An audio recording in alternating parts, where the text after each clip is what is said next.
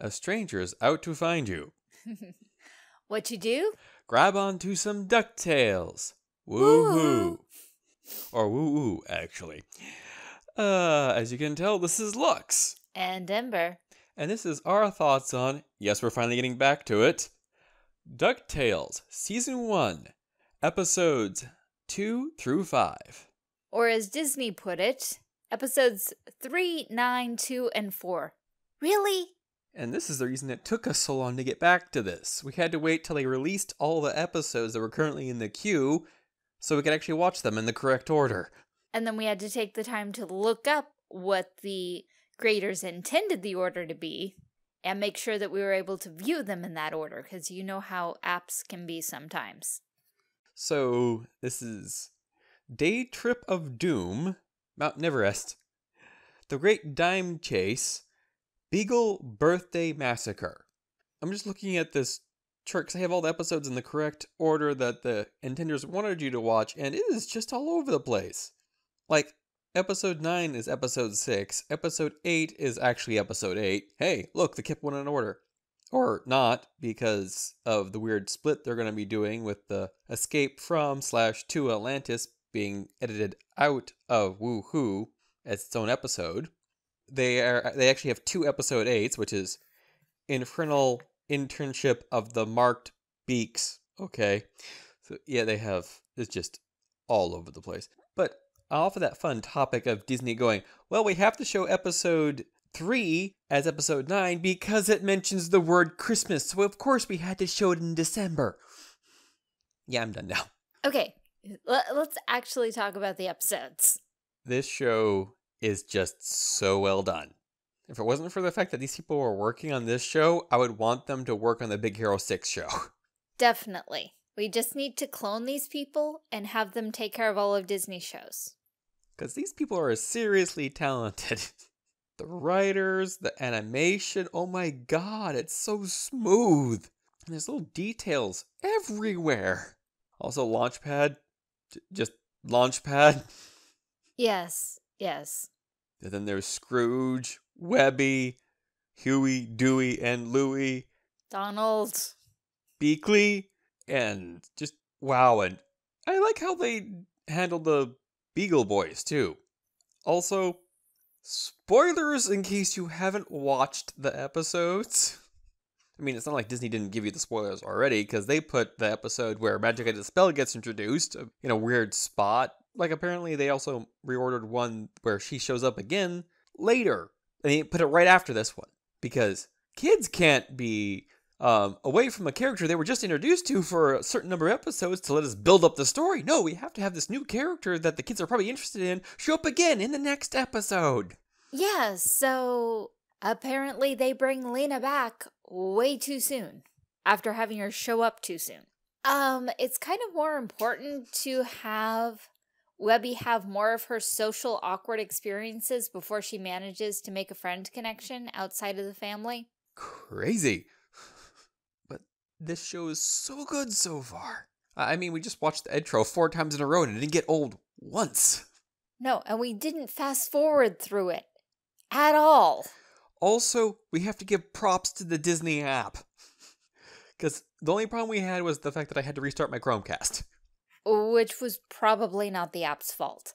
But the playback was smooth. The commercials, they were short. Sweet and to the point, and we enjoyed them. We didn't even mute the TV. And Ember's a chronic channel surfer. The moment commercials come on, she will switch away from the channel she's watching to find something else to watch. Chronic channel surfer. I suffer through commercials because I don't want to miss anything. She's like, nope, can't watch commercials. Yeah, but these were like 15 seconds. What were they about? Star Versus, books, Star Wars series. I see no issue with any of this. Star Wars Rebel, also the new Wrinkle in Time movie. Fun fact this is actually the second Wrinkle in Time movie Disney has done. Yeah, no one remembers the first one. Yeah, apparently it was one of those direct to DVD things. Oh, they, they went through a phase of doing that. It looked okay. I recognized some of the actors in that original one because I actually watched part of it because I was like, wait, didn't, already, didn't Disney already do a Wrinkle in Time? But haven't you noticed that Disney's current renaissance is redoing every movie in their catalog? And either in live action or better than the previous version. This series gives me hope for Darkwing Duck. Also, Gizmo Duck! Is on his way, though, because we've seen Gyro, but we haven't seen Fenton yet. Speaking of Gyro, I also love the joke about, oh, I gave you the wrong, this is a 70 watt bulb. You were designed for a 50 watt bulb. You were just mad with power. Not evil, just got a little power mad. Uh, okay. Also, Scrooge's last tactic of, these are the most brilliant people in the world, and then, okay, they're crazy. If you fire them, they're gonna come back for revenge. I vote we move our main offices over here. I vote we keep these people as far away from our main office as possible. Motion passed. And because I'm so excited about this series, I have a feeling I'm spiking the mic. I apologize. I'm going to do what I can in editing. Yeah, he gets on my case for spiking the mic during my dramatic readings, but here he's just out of control. I'm getting on my own case and I'm calming down. I'm going to whisper for the rest of the episode. You're going to hate me. no, I'm not. Now, and one of the things I'm liking about this iteration of DuckTales is that we're seeing Donald more often. Yeah, because in the first iteration, first episode, I'm sorry, kids, I have to leave you behind. I, I think he only like showed up maybe once or twice after that. In the entirety of the series. But when you go back to the original comic books, he's in there every single comic book. And him and Beakley coming to an understanding because he finally impresses her because the Beagle Boys hit his rage button. I also like, how can you do all this stuff? It's because I'm a spy. Um, do I believe that? Possibly. Actually, probably. Yeah, I think she was a spy. Probably for Scrooge. And she may still be a spy. That's what she is. I am not your secretary. Yeah, she certainly has said that often enough. Also, I love the war zone. He's like, ah, kids will be kids. But Donald in Scrooge's private bathroom, nope, house meeting now. Also, apparently, his unmentionables all over the bathroom. We will now call the unmentionables incident. Also, I'm thinking, Donald doesn't wear any pants. How does he have unmentionables? I was not even thinking about that, and depends on what you want to define as unmentionables. It could just be his undershirts. Eh, that's possible, but it's like, but he doesn't have any pants. No, no pants. No underwear. For all we know, that is the underwear, and it just looks like feathers. Okay, taking that topic and moving on. hey, you brought it up. Yeah, but it crossed the line. And also that awesome moment when Scrooge was in the bathtub with the cucumbers on his eyes and he goes, Something's wrong. And switches out the cucumbers for coins, and then suddenly the bathtub is full of coins. It's like watching one of those old Spice commercials of Look at your man. Look at me. Now back to me. I am not your man, your man could smell like me. And now I have this handful of gems that came out of nowhere. By the way, that entire commercial, no digital effects. All f- practical effects done in one shot. Impressive. Yes. All right, but continuing, it's been nice that after the premiere, none of these episodes have actually been treasure seeking. Mount Neverrest was an adventure, but there was no treasure. Actually, there was treasure, but not in the usual sense. Yeah, not in the financial sense. The treasure was was Scrooge learning something and Huey, Dewey or Louie, Huey. probably Huey. Let me look at my notes. Actually, I have notes. Huey's the one in red, Louie's the one in green, Dewey's the one in blue. You're right. It's Huey. Because on my notes it says unnamed Huey episode, which was the one that we were missing, which is The one where they mentioned Christmas, so they had to delay it or move it up to December. also has snow in it. So of course, you know, Christmas. And I love how often Scrooge reiterates how many enemies he has and how many death curses are on him. What's this magical defense thing that's costing fifteen million dollars? Do you know how many death curses I have on my head? Which they also bring up in the Neverrest episode. Like, if I had a dime for every time someone cursed me with their dying breath, I'd be twice as rich as I am now. oh god, this series is beautiful. It's awesome. I mean, in three out of five episodes, we've mentioned the Beagle Boys. Because in the premiere, Webby mentions the Beagle Boys. Then we have the Beagle Boys in the Funso episode. And then we have all the Beagle Boys in the birthday episode. I love how we have variety. I can't name all of them, but they had like the Beagle Boys from France, the Beagle Boys Extreme, the Beagle Boys from France. They had the scary ones, the knockoff ones, the extreme 90s version, the French version, the creepy version. Not to mention the French version. but yeah, we have all these different versions of Beagle Boys. Ah, poor Ma Beagle. Raised so many stupid people. Though I do like how in the first episode they're introduced, Ma goes, You idiot! Now we have four targets on our back, which makes sense. If anyone's ever encountered Scrooge before, you know, not only is he a penny pincher wouldn't pay a ransom, he would come and hunt you down, and hunt your family down, and then hunt your family family down. because it'd be cheaper to do that than pay the ransom. Also more satisfying. Quite. So many crazy, well done things. Also, nice storytelling, nice order. Well done. I don't know why Disney was like, we got to reorder these things for proper broadcast, otherwise the stupid kids won't understand the show. What about the quote unquote smart adults who actually enjoy the show and are most likely to watch it? Kids are going to watch it, they're going to find it on their own. They won't care. But the adults who already know about it and you were hyping will watch it and spend more money on you than the kids will. That we were done with this topic. I am. I just finished it. That's why I stopped. I was like, she's going to bring up something else about the show, and I'll talk about that. so, at first, when they went to the Funso's Fun Zone, I thought Webby's reaction was going to be disappointment based on all the cool stuff they did in the Atlantis episode and you know how hardcore she is. Go, oh, this is just kid stuff.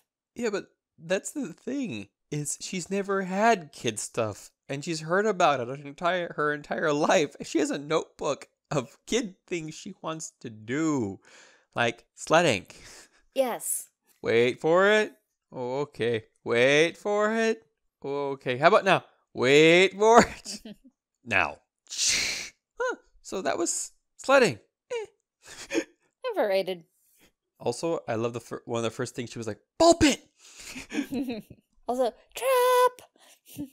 yes, yes, because I don't entirely, un- I mean, I kind of understand, but they're so sinking. You go to like Chuck E. Cheese's, I can't exactly say now, but you go to the more modern ball pits and they're like two inches deep. Yeah, there's like three balls high, and those balls are slightly compressed. So you stick your foot in, and you're like, it's up to my ankle. Yeah, not like when we were kids.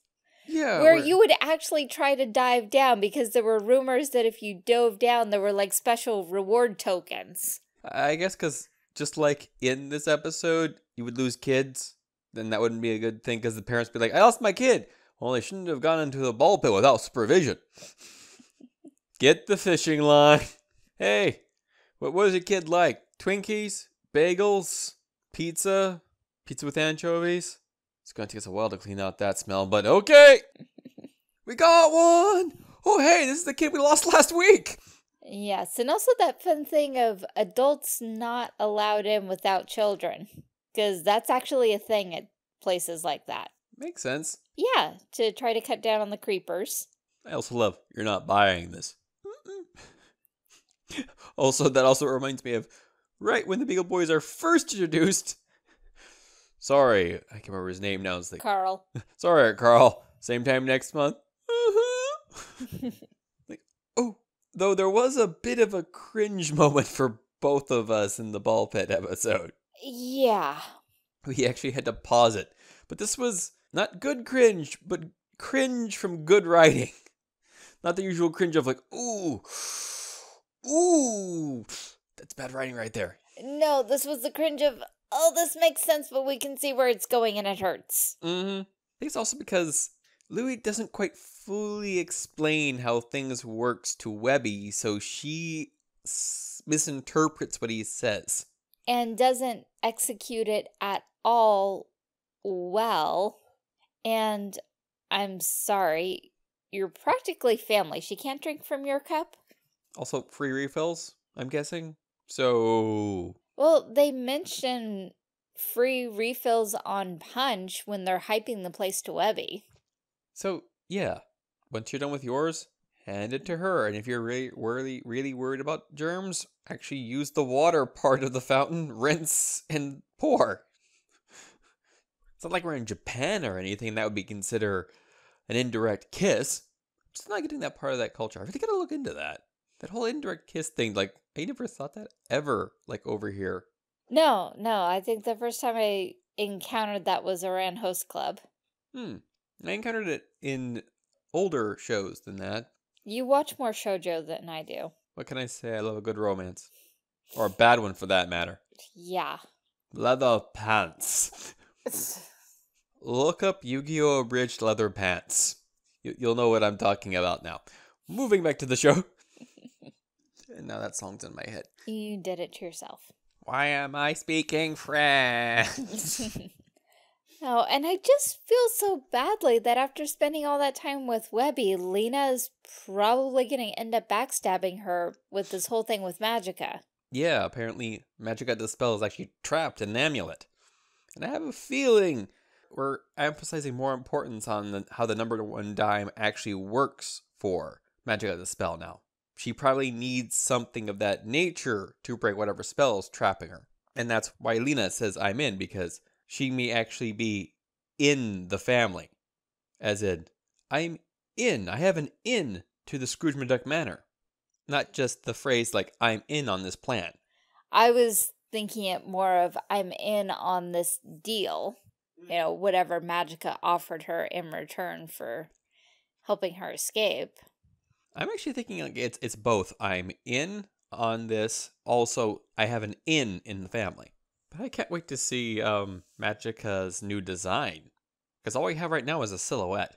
A silhouette that's made of shadow, so it could be very far off from what she actually looks like. Also, I really like this new iteration of Gyro. Just his interaction when he came into the boardroom. You remember what we said about human interaction? Oh, the cards. Only 50% of my inventions have gone evil. Little little crazy there.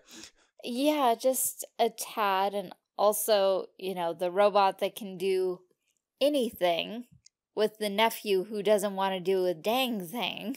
We took the concept of being rich a little too far. You have six cans right there. Yeah, but the fizz is only good for the first sip. No, it's not. Also, oh, my phone's dead. Need to get an. oh, charge it! Well, it's three months old, anyways. Three months. The phone I'm using right now is almost, it's probably um, two and a half, maybe three years now. Hmm. I have to look at when I purchased it. Because I know it died once and I had to get it repaired. Thank you, Nexus 5X. You're a wonderful phone, except for the fact that LG didn't properly solder your CPU to your motherboard. Yay! So basically, any Nexus 5X is like a ticking time bomb. Usually. But moving on. Because so far mine's lasted a year and a half. So let's see, what else did we want to go over? I'd like to know why Lena wanted to break into a Beagle Boy party. If Lena, by the sound of it, has been doing her research, he's been observing Webby. So she knows Webby likes adventure. And she thought that would be a good way to get her in. And that's why she was writing all those notes in a bottle. Because she knows Webby would find one based on her location. Because she saw, we didn't see her there, but somehow she knew about being dropped off. And Webby didn't mention the fact that she was left behind by the brothers. So that was either a conversation that occurred off screen or Lena actually knew. And she would know by observation. So I'm guessing that's why she took her there because she wants she knows she wants adventure. She knows it would be a good way to get in. and she probably knows that she could handle herself because I have a feeling that she has powers we haven't seen yet thanks to the amulet. There's probably some powers she can get from it. Probably. And also, Lena seems to be a fairly competent individual, so definitely has some family issues. Yeah, because I believe she called her aunt De Spell or something along those lines. I don't remember that at all. I know she said she was a relative. So, if I remember it correctly, it was Aunt De Spell or something along those lines. So that means her parents are related to De Spell in some way, and her parents did something that made her run away and find the spell or something. Or she was looking through the stuff, ran into the amulet, the amulet talked to her, and so she ran off from her parents. Or she could have legitimately got it from a thrift shop because I don't remember Lena calling her aunt, and I don't remember her saying De Spell. It was Magica. She only said Magica. She said the first name. It, it was something like that, but she definitely used a word that meant some type of relative before she said um, Magica. Well, we can watch the episode, that part of the episode again. It's right at the end, but we're not going to do it right now. so, what's next? Oh, let's see. Louie wading through the money, wanting to dive into the money bin. Oh, yeah. That's a good spot. Scrooge going, What are you doing? You're going to break your neck. You're going to crack your skull open. But you do it for after years of practice. Strength training and dexterity. Uh, also, going back to that first episode, they made Scrooge diving into his money a moment in the show. You were like, yeah. So I bring that up again because they emphasize it right here too. It's like that's a special thing that Scrooge learned to do himself. We also got the awesome story of the number one dime. We also find out that Scrooge keeps it on him all the time, which is a whole lot smarter than the old McDuck. Yes, because in the first generation, the coin on the velvet cushion is the actual number one dime.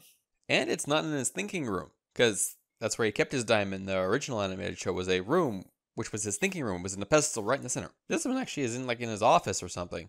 Oh, the one on the pedestal is Yeah. in his office, specifically his money bin office. Also, Launchpad with the snow fever and Louie's uh, hustle to get back at the guy for selling Launchpad, all that stuff.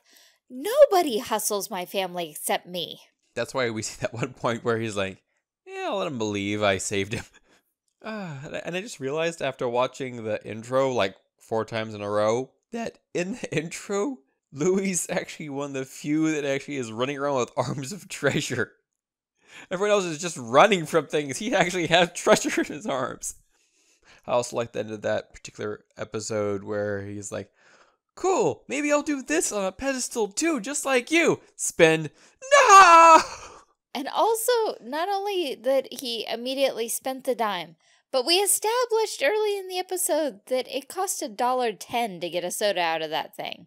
Because you have to pay for the deposit. I knew there was something fishy, but I can't remember what a deposit is. Why, why would you need a deposit? Well, in the state of California, it's called the CRV, California Redemption Value. I had a feeling that's what you were talking about. And I could be misinterpreting. It could have just said deposit 10 cents because it actually cost a dollar 10 to get the soda. And so he was 10 cents short. But it made me think, no, no, the soda machines in Scrooge's money bin would charge the CRV deposit instead of having it factored into the cost of the soda. I think you're right about that because I remember blinking a dollar before Louie inserted his dollar. Then it said 10 cent deposit. There's just so much good in this. I mean, we've already talked for 36 minutes or so unedited. So, any more you want to go over, or should we like maybe wrap things up? Or Oh, just a little bit more of the awesomeness with Launchpad and this snow blindness and Louie getting his revenge on the dealer. Ah, yeah, the classic. Rival the guy up and became so worried about like something. Oh, he's faking it because this isn't real. Oh, whoops. yes, and also, did Scrooge ever pay for that shirt that he took off the hanger and defaced? yeah, I No. No, I don't think he did at all. Probably not. There was also a nice touch at the end that we had seen map go through a wormhole and end up at the summit. That whole, oh, if we'd started from here, we could have made the summit. Yep, instantly, in fact. But only the audience knows that. Because if Scrooge knew it, he'd go right back up. I also like the touch that it was Scrooge's cautiousness that got him that name. And the fact that the guy backstabbed him and also did something. So it wasn't really Scrooge's fault. And especially the fact that they placed it when he was really young and he made his first million. So he was still wasn't the Scrooge we know today of how awesome he is. But you have to wonder, okay, so how old does that make Scrooge? Because that was 75 years ago that the thing at Neverrest happened. So even if you go on the young side and say he was like 10, which there's no way he was only 10, that would still make him 85. Yeah, I'm thinking he was like more like 16, 17, probably 18 actually. So that puts him up in his 90s. Dang, Scrooge. Nice job. Can I borrow your health secrets? I think it's called being rich. Except for all the rich food. But I don't think Scrooge eats that richly. No, no, because he's Scrooge, but he only spends money where it's necessary. So I'm sure his doctors are top notch. Good point. Did even factor in the doctors? I just thought Scrooge would do everything he can to avoid doctors because they rip him off. Well, we've seen that Scrooge will spend money when he has to. So, spend money or die. I know it's a tough call, but spend money's probably going to win over dying. Hmm. Also, the entire library sequence. That's like right up your alley. I mean, we have a whole video series devoted to reading books. Yes, yes, we do. And where's Reading Room? You can find a link to it on our channel because, you know, it's on our channel. I might even be able to put one of those eye things in one of the corners if I remember to do that or if I have the time because that's my main problem. I can upload the videos, get everything scheduled. But I don't always have time to do annotations. yes, but it's not hard to find.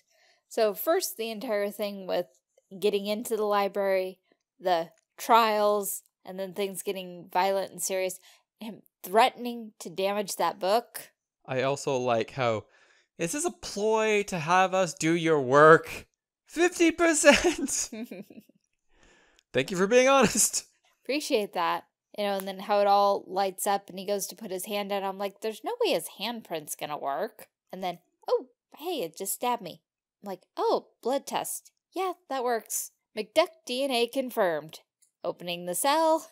Makes you wonder if this is actually connected to Magica as well. Maybe Huey, Dewey, and Louie's mom had something to do with the sealing of Magica.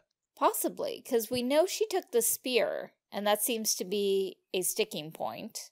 Also, since we went from that episode and the beginning of the following episode was them in the boat, I almost thought they were taking the kayak to follow up on what they had found in the archives until they showed all three of the nephews.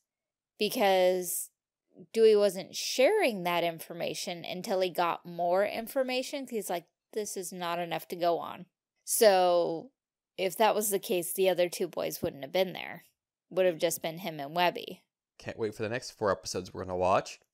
Yeah, we're doing this in four episode chunks until we catch up. And then once I hope Disney doesn't mess up the next set of episodes of what they probably will call season two at this point.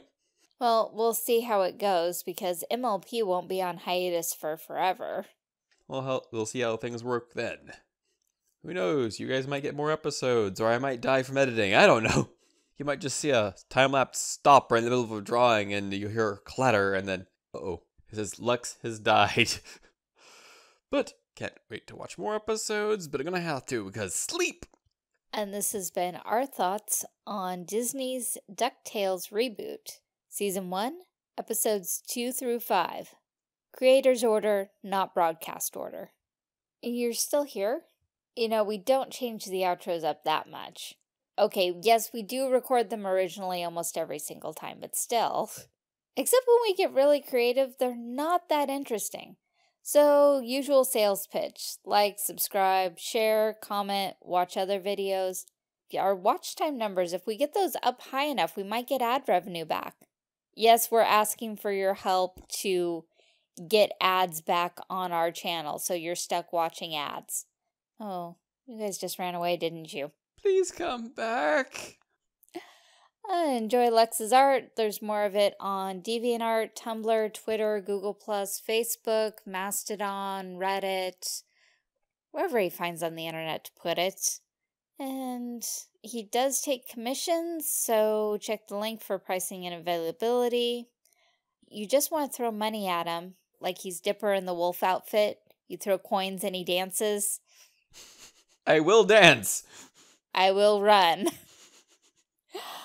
uh, two options. Monthly, you can do Patreon, which starts at a dollar, which gets you sketches and voting rights. Higher tiers, more rewards. You know the deal. Don't want a subscription, but want to throw a few coins? Uh, try coffee Ko-fi. Works in increments of three. Thanks again for listening, and thanks to all our current supporters in a variety of formats those who watch, those who like, those who comment, and those who donate. Thank you.